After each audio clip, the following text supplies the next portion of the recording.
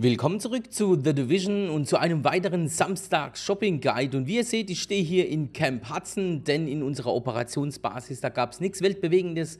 Und da werde ich mal direkt hier zu diesem guten Mann gehen und ins Sortiment schauen, denn hier unten gibt es einen Kurzgriff, den ich euch gerne zeigen möchte, der bietet euch 18% kritische Trefferschaden, 4,5% äh, Nachladetempo und 2% Präzision. Ganz klar, der kritische Trefferschadenswert, der geht noch höher, aber an sich ist dieser Griff nicht schlecht, vor allem für all jene, die nichts besseres haben. Und jetzt gehen wir gerade mal ein Zelt weiter, denn hier gibt es noch einen Händler, den ich euch gerne zeigen möchte.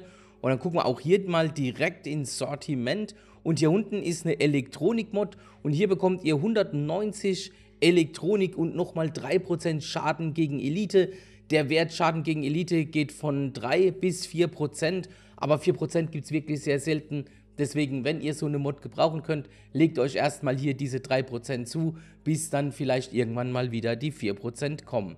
Dann haben wir hier unten noch eine weitere Mod und zwar eine Waffenmod mit 264 Schusswaffen. Ist ein sehr guter Wert, denn der Wert kann hochgehen bis 267. Das heißt, da fehlen nicht viele Punkte bis zum Maximum.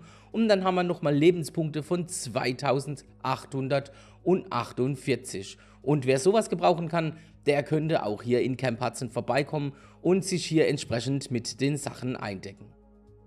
Jetzt befinden wir uns im Safehouse Madison Stand und zwar ist dieses Safehouse direkt unterhalb der Dark Zone, genau hier an dieser Stelle und was ich vergessen habe, ist euch vorhin zu zeigen, wo denn hier Camp Hudson ist und zwar Camp Hudson ist hier unten ganz links in der Ecke. Da bekommt ihr eben die Sachen, die ich euch eben gezeigt habe. Und jetzt befinden wir uns hier oben, wie gesagt, in Madison Stand, schauen mal hier ins Sortiment, scrollen ein Stückchen runter und da haben wir eine Ausdauer-Mod mit ganz hervorragend 266 Ausdauer und dann haben wir im hohen Attribut nochmal Lebenspunkte von 3125, also auch wirklich eine gute Mod, wer sowas gebrauchen kann, der sollte hier bei Madison Stand vorbeikommen.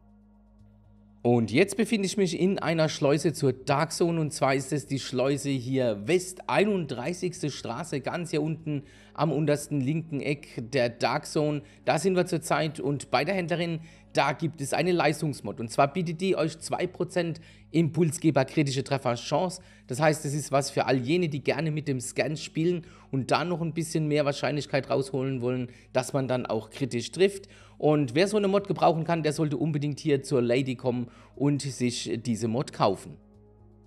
Und damit sind wir auch schon wieder am Ende des Shopping Guides angekommen. Wie immer würde ich mich natürlich über ein Abo von euch freuen. Ich würde mich über ein Däumchen nach oben von euch freuen. Wenn ihr Fragen habt, haut es mir in die Kommentare. Und am Ende gibt es gleich nochmal zwei weitere Videos, die euch noch ein bisschen besser über The Division oder über Anthem informieren. Würde mich freuen, wenn ihr auch da mal reinschaut. Und dann bis demnächst, euer Latan.